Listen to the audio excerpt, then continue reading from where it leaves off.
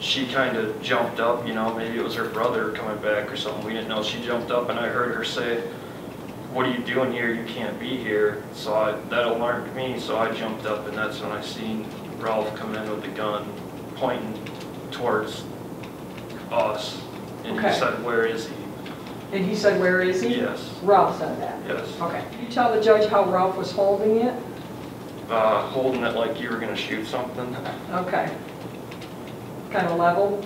I mean, yeah, he had posture like you were, you know, if you were gonna shoot at something or, you know, basically had it to his shoulder, you know, in shooting position, I guess you might call it. She said, stay behind me, he won't shoot me.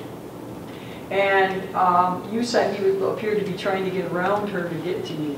Yeah, right? he was, he was definitely trying to, you know, get the gun directed towards me.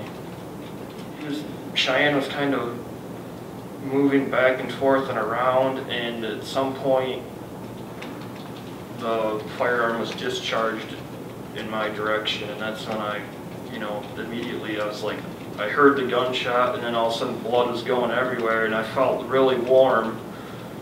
I was like, kind of shocked, and there was so much blood at first, I was like, I don't think I'm gonna make it, you know, so I kind of went towards the back door, and Cheyenne got really upset and kind of, you know, got, I guess you'd call it hysterical, and I believe she went towards Ralph, and then I, after that, I just exited the house, because I figured I wasn't gonna make it very long, I wasn't gonna just die in there, so I kind of ran, and once I got outside, I just, my idea was to run for help.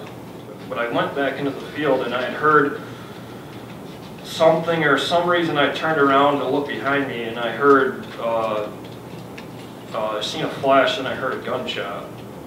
My shirt was soaked with blood and, I mean, I just, at that point, I was almost getting cold because the blood that was on me was getting cold and everything, but I mean, that shirt was, it was like stuck to me. It was so drenched and, you know, I, I've never been shot before, so I mean, of my experiences of hunting and stuff, when an animal loses that much blood and ran that far, they usually don't go too far.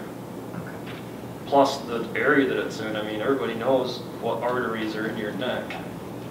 And you said Ralph was cor- calling her a cheater and a whore, is that right? Correct.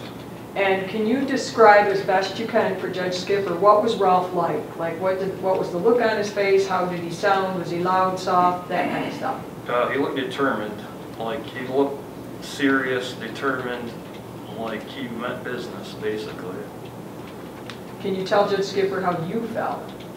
I felt like, I felt scared. I mean, if, normally I'm not really scared of people, but if somebody has a gun pointed at you, I was wondering when it was gonna go off, basically. That's like, the look on his face, I was like, oh, this, could- this gun could go off at any second.